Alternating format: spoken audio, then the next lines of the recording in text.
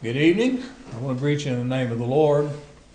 This is the book of Acts that we're studying, and tonight is week number five. I did not um, I did not announce this earlier, but listen up real carefully. But next week, I'm going to give you a study guide. Next week will be the sixth week. I'm going to give you a study guide next week, and then just the first part of the class on the seventh week, we'll have a little quiz. And the reason why we'll do that is so that all of the weight won't be on just one test. So I'll give you a study guide that'll help you, and that'll give you an idea of what to expect. So um, that'll be next week that you'll have your study guide, and they'll give you a week to review over your notes and so forth.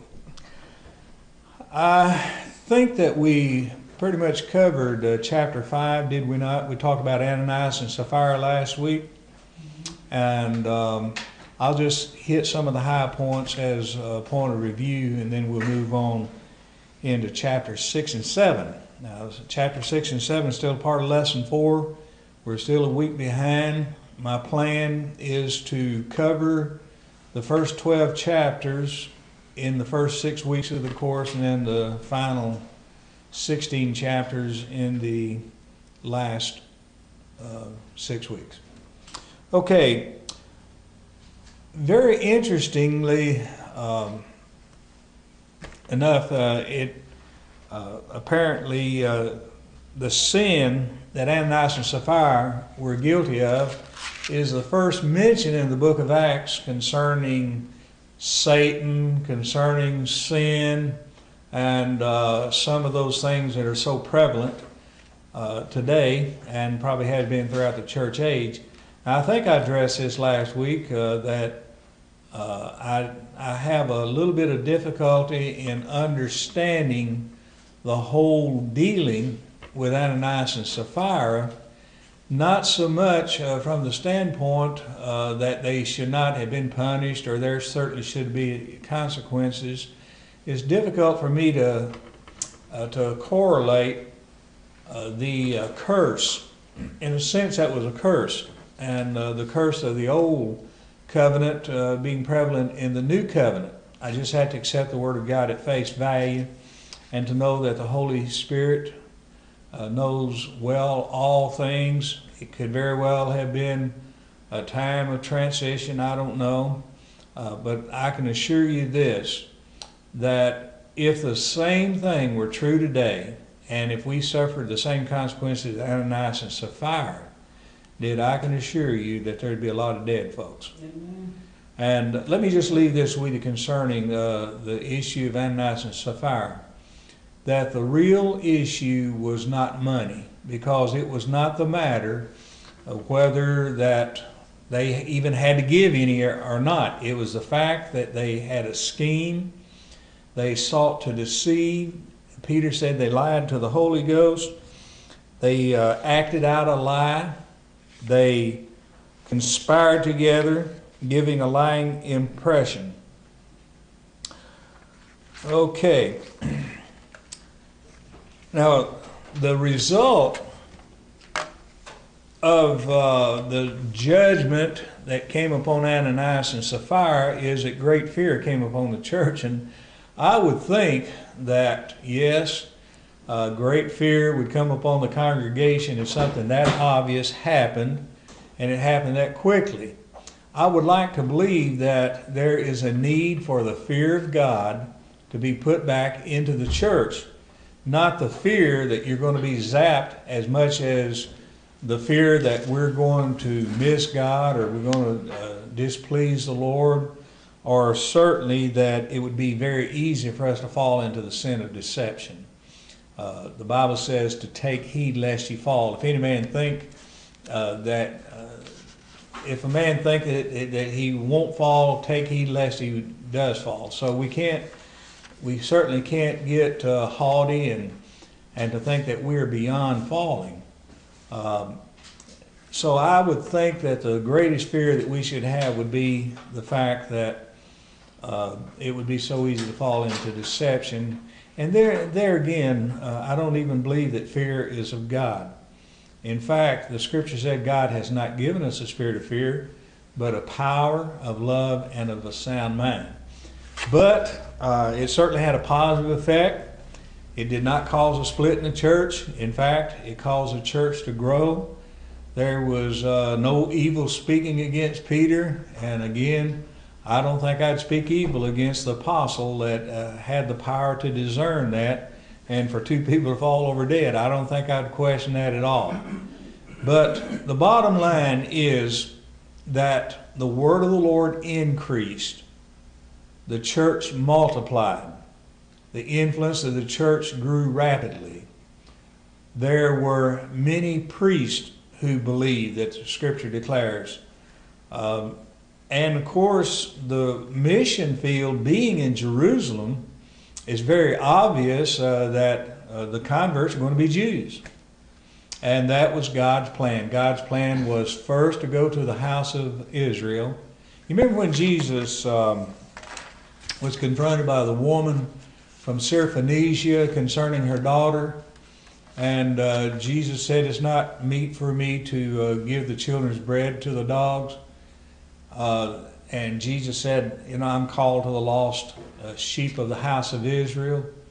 Now, we would think that uh, Jesus was really saying that I'm not interested in the Gentiles. He most definitely was. That was evident in uh, his going to the well of Samaria and ministering to the woman there.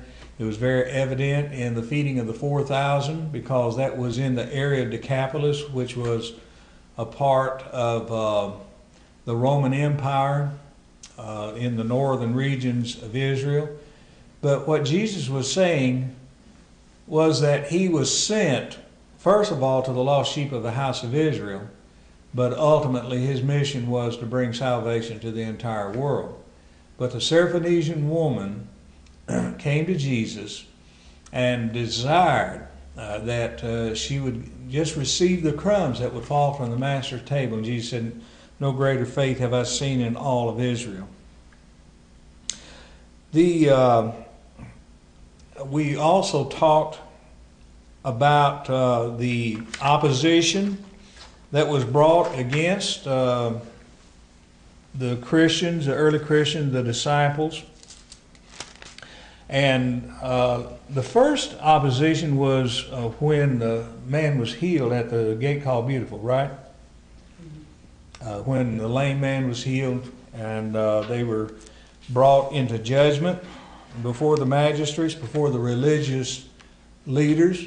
Let me say, uh, let me say one thing in retrospect uh, concerning the issue of Ananias and Sapphira. Now, again, we uh, we see that this is the first entrance of any suggestion uh, concerning Satan and evil in the book of Acts, but it also introduces something else that is significant, and that is that up until that point in time, the opposition was coming completely from the outside, but Ananias and Sapphira represented a type of cancer within. And uh, I believe that that would be representative of the working of the enemy, that if he can't destroy you from without, he'll seek to destroy you from within. Uh, this was a great sin of Balaam. You remember the prophet Balaam? When uh, the children of Israel were marching uh, into Canaan, and uh, I, have often wondered about this. I wonder what kind of prophet Balaam was. Was he, uh, you know, people were religious back in those days. They may not have all been uh, followers of Jehovah, but they certainly were religious. And who knows? There may have been uh, there may have been prophets uh, that knew something about the true God. But there's one thing about Balaam: he was aware of the blessings of God being upon the children of Israel. So when uh, the kings of the land called for Balaam to come and to curse the children of Israel, he basically said, "I cannot curse what God has blessed." Now here's really the bottom line, and uh, I've, I've wondered about the book of Jude when it speaks about the sin of Balaam, and also there's a reference in the book of Revelation to the sin of Balaam. What was the sin of Balaam? He never cursed the children of Israel. And that's one thing you want to keep in mind. He never cursed the children of Israel. He tried, but he couldn't. And when he was going in rebellion, uh, God was so merciful that he caused the donkey to slam him upside the wall. And uh, of course, he got mad at the donkey, and the donkey starts talking, and God is using the donkey as an instrument. But here's what the sin of Balaam was the sin of Balaam was that he could not curse what God had blessed. But he was more or less putting what we would call a bug in the ear of the king and telling him how that the people could be cursed. How they could curse themselves. How they could curse themselves. And tell us how that was. What, what was Balaam guilty of? What was the sin of Balaam? False doctrine. Well, it's referred to, yeah, but you really uh, kind of hit the, you kind of hit the nail on the head when you mentioned about them cursing themselves. Here is what Balaam said. He said, I can't curse the people, but it's some way that you can entice these people. If you can infiltrate and entice these people to go after, uh, not necessarily false gods, I think it's specifically probably to become involved uh, in uh, sexual immorality and in the sin of fornication, in committing fornication with the people of, of the land, that it would bring a curse upon themselves. And so the Bible speaks about the sin of Balaam and uh, that we are to avoid that. Now, here's the whole point the point is that if Satan cannot win by bringing outside opposition, he will do everything within his power to cause there to be division, to be dissension, for there to be internal workings against the purposes of God. Let me read a, a scripture in uh, Acts chapter 20, verse 28. Paul says, Take heed therefore unto yourselves and to all the flock over the which the Holy Ghost hath made you overseers to feed the church of God which he hath purchased with his own blood. Now, what he's talking about here uh, is uh, he is speaking to the elders of the local body. There are two major functions of the elders of a local church. Number one is to be an overseer. That overseer means to be a protector. And number two is to feed the flock. To be an overseer and to feed the, feed the flock. Uh, I'll tie another scripture in with this uh, to point out or to further uh, reinforce that concept. 1 Peter chapter 5, verse 1. The elders which are among you I exhort, who am also an elder and a witness of the sufferings of Christ, and also a partaker of the glory that shall be revealed. Now he's speaking to the elders. Peter is speaking to the elders here. Here's what he tells the elders Feed the flock which is among you, taking the oversight thereof, not by constraint, but willingly, not for filthy lucre, but of a ready mind, neither as being lords over God's heritage, but being examples to the flock. So, in these two scriptures, we find that the major role of the elder is to be an overseer and to be a feeder of the flock. Now, that's going to be very important for us to distinguish between the ministry of an elder and a deacon because in chapter 6, we find the first reference to deacons being chosen. But the ministry of the elder is to oversee, to protect the flock, and to feed the flock. The basic ministry of a deacon is to serve. Now keep in mind that servanthood is the basis of all ministry. Jesus said, if you would be Lord over all, you must be servant. Jesus said, I didn't come to be ministered unto, but I came to minister.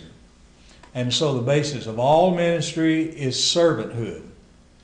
Every minister, regardless of the office, is called to be a servant. But there are specific offices which are given completely to a service type ministry, and that is really speaking about ministering in natural things. So we say the distinction between an elder and a deacon is that the elder basically deals with spiritual issues, while a deacon's responsibility is to deal with natural things. so when when Paul and Peter both are speaking about the ministry of the elders, and he says to protect the flock, back in uh, Acts 20 and 28, he says, For I know this, that after my departing shall grievous wolves enter in among you, not sparing the flock. Now, I'm telling you this, this is not referring to, uh, this is not referring to some obvious enemy. Because it says, Also of your own selves shall men arise, speaking perverse things to draw away disciples after them. So here, Paul is talking about wolves that would come from without, and then he's speaking about those more subtle enemies from within. So Ananias and Sapphira represent the uh, first mention of anything that would be insidious, that would uh, that would be uh, from within. And keep in mind again that of course Satan will do everything within his power to bring separation, bring division. it's just like modern warfare. Modern warfare is not like it was a hundred years ago. I don't understand the insanity of people fighting a war like they did in the Civil War. Uh, you see, you see the pictures of the soldiers just literally lining up in an open field, right? And they might be what a hundred yards, maybe not even that far. So you have a line of soldiers, and here they're firing at each other, and it's just a matter of the last man standing. When the first line, when they uh, shot and killed, the second line moves up. That's insanity. That's uh, suicide. And then, of course, war got a little bit more, um, uh, I guess, a little bit more subtle and uh, required a little bit more strategy. And then we entered into the Vietnam War where it was difficult to even identify who the enemy was. Uh, I, my brother uh, spent 14 months uh, on the front lines of Vietnam in the jungles of Vietnam back in 1968 or 69 and he said that you didn't know who you were fighting because a farmer by day may be your enemy at night. And much of the Vietnamese opposition was made up of kids. You know, and that's the reason why that a lot of criticism was brought against American soldiers that came back from Vietnam when they were called baby killers. Well, what do you do? And of course, we had another. Uh, I don't. This is a little political, I guess. But then we had a another little issue that they said you cannot fire until you're fired upon. Well, my goodness, you know, if you don't fire until you're fired upon, it may be too late. And and now we are we are engaged in one of the most subtle wars that could ever possibly be, and that's terrorism. Can you imagine how such a small band of people can cause so much chaos in the world. And it's difficult to know who the enemy is. And so the same thing is true spiritually. The same thing is true in the work of God, in the house of God. That it's often very difficult for you to identify what the opposition is. Now, if if you were able to just pinpoint and say, well, you know, this person guilty of murder and this person is a known liar, uh, you know, that'd be one thing. But when you start talking about the deceptiveness of the heart, and you're talking about the sins of the spirit, and things that are not obvious, and when you realize that uh, some of the most uh, devious things that can happen is backstabbing and someone that you think is with you and for you. So you see the point is that uh, the enemy is going to work from without and he's going to work from within. Okay, let's move on into uh, chapter 6. And this is uh,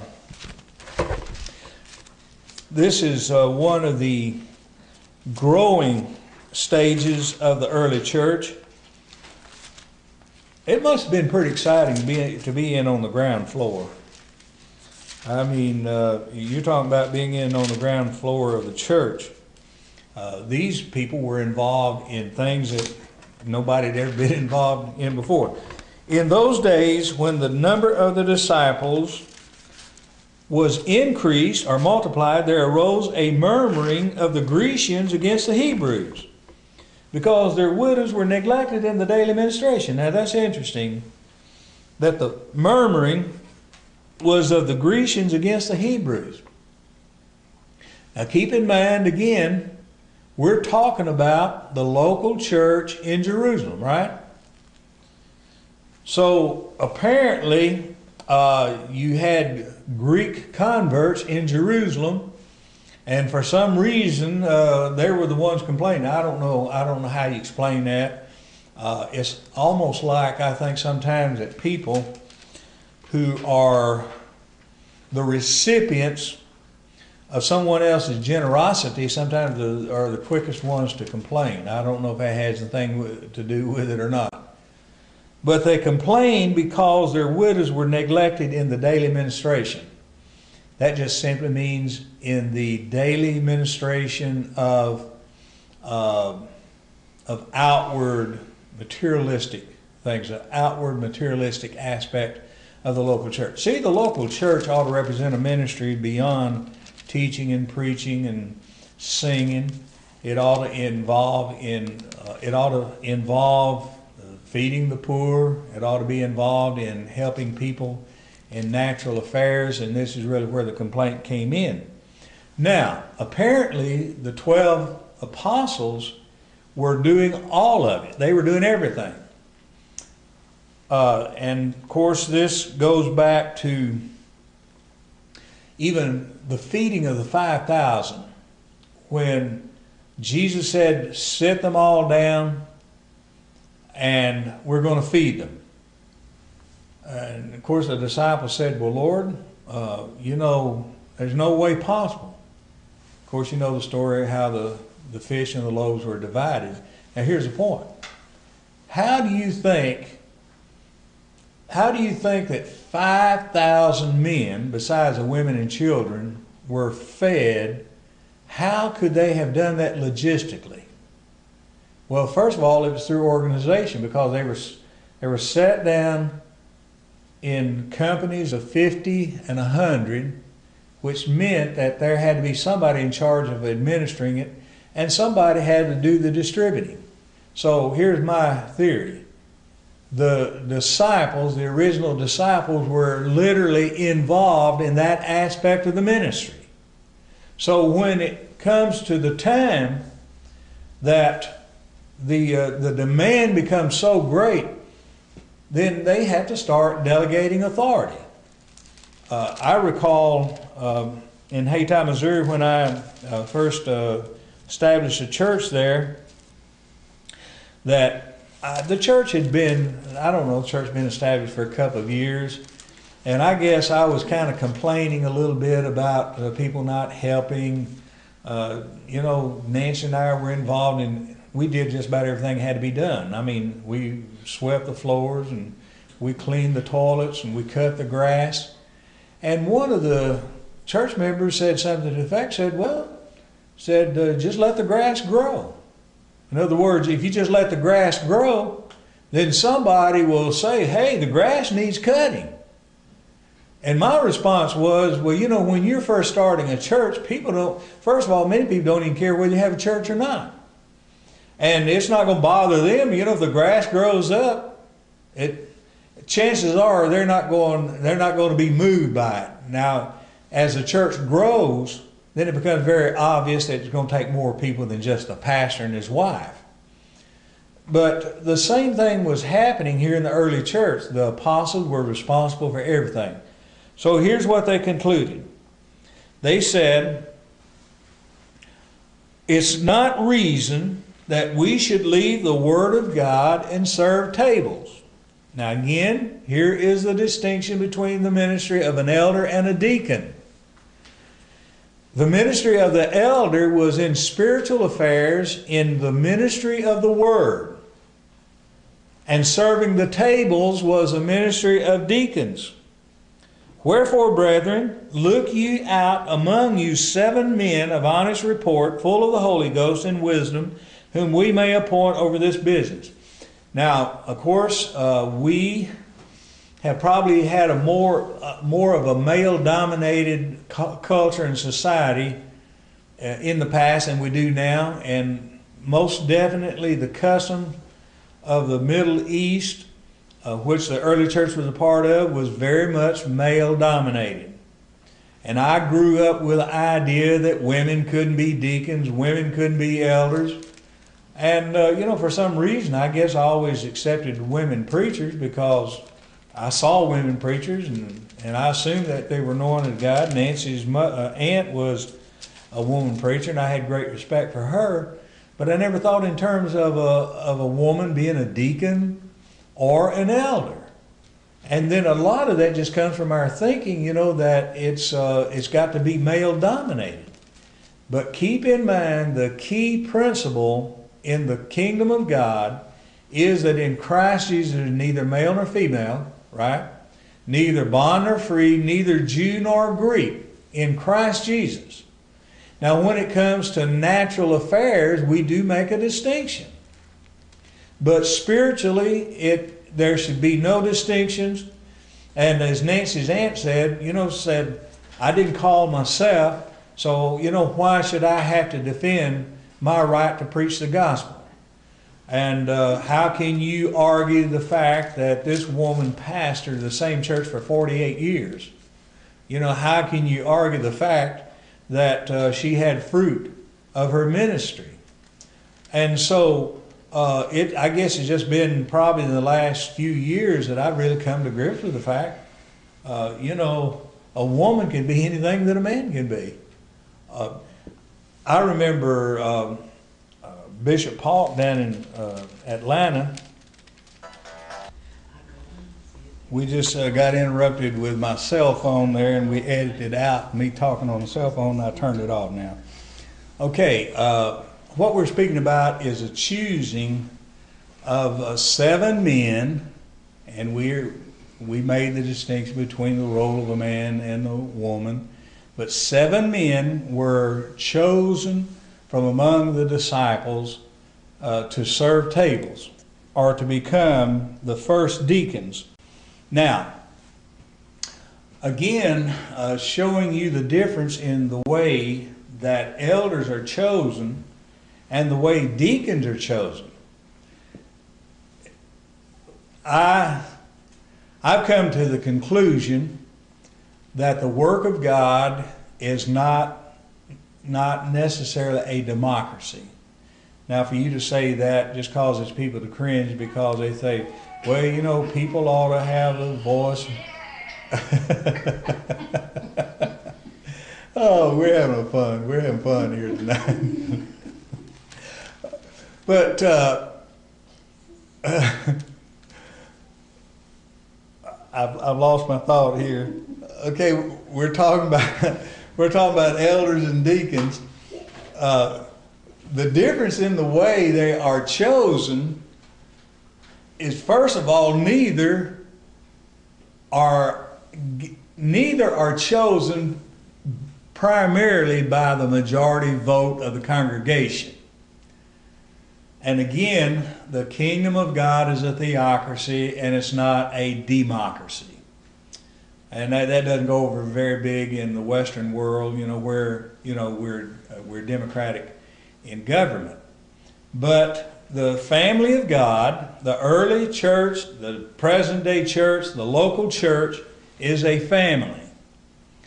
And I believe that you can draw many parallels between the natural family and the spiritual family. And let me make it as simple as I know how to put it. That in your natural family, you do not take a vote among the children to determine how you're going to run your household. Now, there may come a time where you you may be talking about uh, you know whether we're going to go eat here or there, if you're going to go to a movie, or if you're going to go do something else, or if you're going to go on vacation. You may say, "Well, we're going to we're going to we're going to take a vote." But when it comes to making important decisions, you do not leave it up to the majority in your household because if you have more than two kids, mom and dad are going to be outvoted. Yeah. And what's wrong nowadays is whether we do it purposely or not, kids are outvoting the parents. And the same thing is true spiritually. That the decisions ought to be made by the fathers in the faith, the mothers of the faith, or the matured ones uh, in the faith, and not by babes in Christ. You understand the parallel? So, you know, uh, the bottom line is there is a distinction made in the Word of God between the way that elders and deacons were chosen and ordained. Elders were chosen and ordained by the apostles. Deacons were chosen by the congregation, but the final decision was left up to the apostles. The congregation presented their recommendations to the apostles, and the apostles were the ones who gave the final decision and ordained the deacons. That may be a good test question, just to simply say, uh, what is the distinction between the way that deacons and elders are chosen and ordained? Elders are chosen and ordained by apostles, and the deacons are chosen out by the church and are then uh, ordained by the apostles. So, look at seven men of honest report, full of the Holy Ghost and wisdom.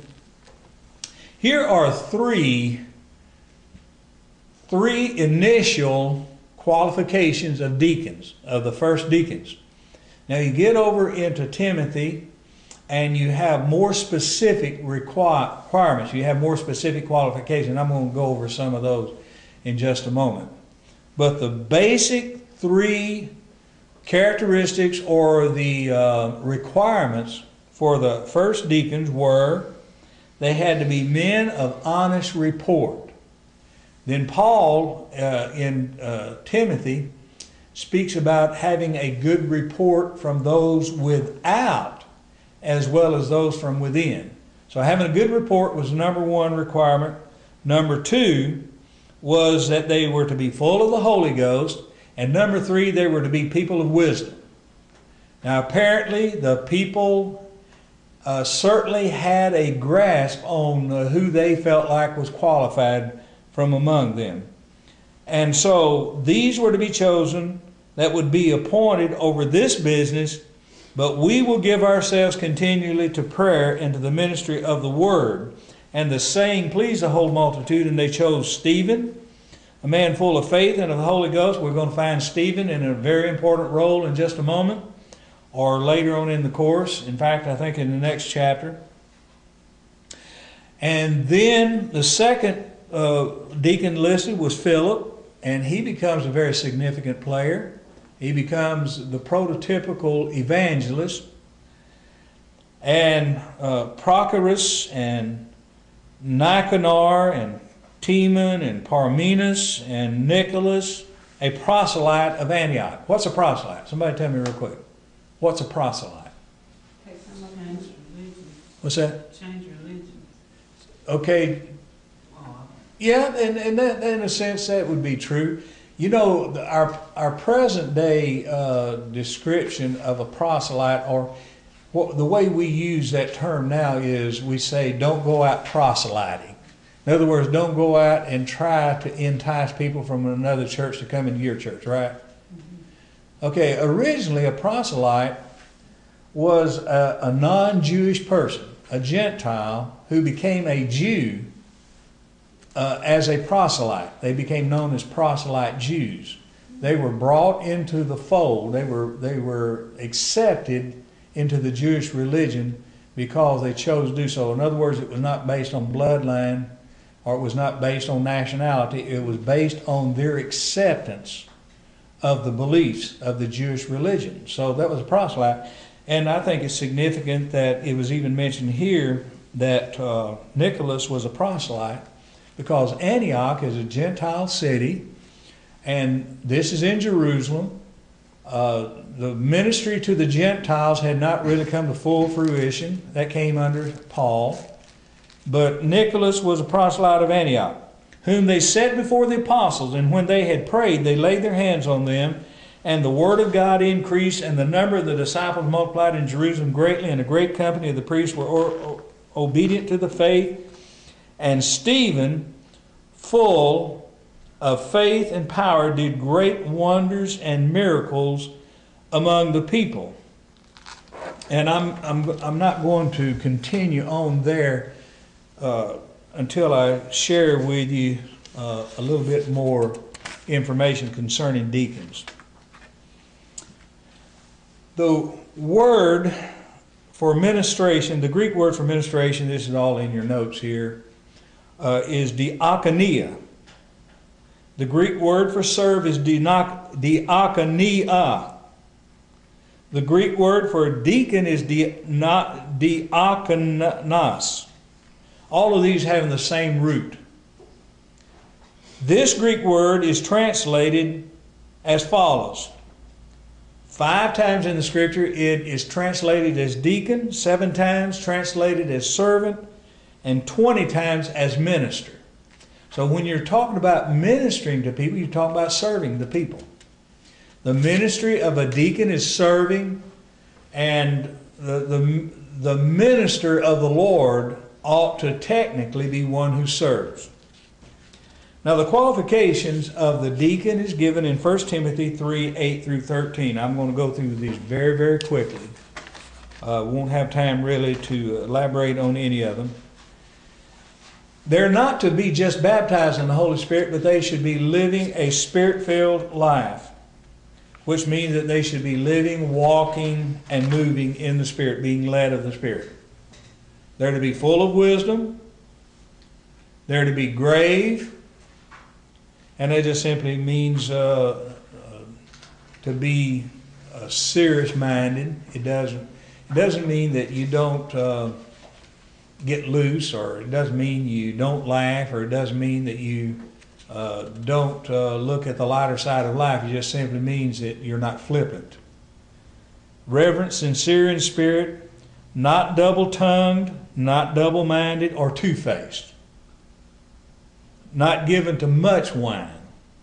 And that just simply means not a drunkard or given to excesses.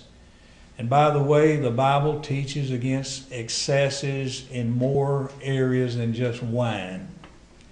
And uh, there are people who will be go to excess in the way they're destroying the temple of the Holy Ghost through what they eat. But they would condemn someone who would drink uh, a reasonable amount of wine, which Paul said uh, to Timothy, drink a little wine for the stomach's sake. And of course, there are going to be uh, people who are going to say, well, it wasn't real wine.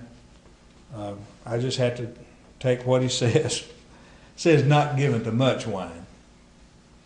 Not greedy of filthy lucre, and that's not to say that in the ministry that you should not be a recipient of offerings. In fact, Paul made it very clear. He said, if you're going to minister in the gospel, then you ought to receive the fruit of the ministry. You don't muzzle out the ox that treads out the corn. But you're not given over to filthy lucre, not covetous or having a love of money. You hold the mystery of the faith in pure conscience, must be proven first. You don't take novices. Uh, people ought to be proven, they ought to have a track record. They must be found blameless. Does that mean perfect? Absolutely not. But, uh, you know, however you determine whether a person is blameless or not, again, that gets back to having a good report, being above reproach. I believe that there's one thing in saying that a person uh, is, you know, you may slip up, you may make a mistake, and another is to have a lifestyle that is uh, brought uh, under reproach. The deacon must have a wife that is grave also, and that would eliminate, unfortunately, that would eliminate a lot of deacons. And uh, if a deaconess, if you have a woman who's a deacon, that same thing should be said about her husband. Not a slanderer, gossiper, or whisperer, sober, self controlled, watchful, of a dis- disciplined mind, faithful in all things, uh, ruling well their own household, the husband of one wife. And these qualifications of a deacon are similar to those of the elders. Let me say just something in passing here and then we'll move on. When I was uh, when I was a kid, uh, a teenager, I guess, when I was old enough to really remember, I recall that I guess uh, the church that I grew up in was so female oriented. You know, being brought up in a traditional Pentecostal church where uh, women were the women and children were about the only ones that ever came to church. And men, I guess, thought it was too foolish, or they didn't think they could live the life, or there was uh, so much legalism was involved. I don't know. I don't know how to explain it. Thank God there are more men that are involved in church now than I can ever remember. But I think that there was almost a consensus that if some man got saved, that they were so excited because a man came to church that in order to keep him, they would immediately give him some kind of job or responsibility, make him a teacher, and he just got saved. He wouldn't be qualified as a teacher. He needs to be taught. Or uh, if he's been there, you know, for two or three months, he might even become a deacon. Well, this is what Scripture is saying is that uh, it ought to be a person who is proven. It ought not be a novice. And I believe that the Bible speak, uh, speaks specifically about a novice that uh, the, they would have a tendency to be become haughty or to become puffed up. Uh, when a person has gone through a, a, lot of experiences in life, they ought to realize that uh, sometimes life has a way of evening things out. That maybe one day somebody will puff you up, but then there's always somebody the next day that'll have a pin to stick a, a hole in your balloon and let all the air out. And you learn that, you know, uh, through a lifetime of experiences. Okay, so let's move on now to chapter 7. Well, actually, the latter part of chapter 6 uh, introduces uh, the ministry of, um, of Stephen. Verse 10 in uh, chapter 6 says, And they were not able to resist the wisdom and the spirit by which Stephen spake. And they brought accusations, the opposition brought accusations against Stephen which are very much parallel to the way that Jesus himself uh, was viewed. Uh, let me see, I have this listed uh, somewhere in my notes, uh, drawing a parallel between uh, Stephen and. Um, okay. I don't see it here. If we come across it, we'll elaborate on it. But there are many parallels that are drawn between uh, the ministry of Stephen and the Lord Jesus Christ. The opposition could not resist his wisdom. And the more that he gave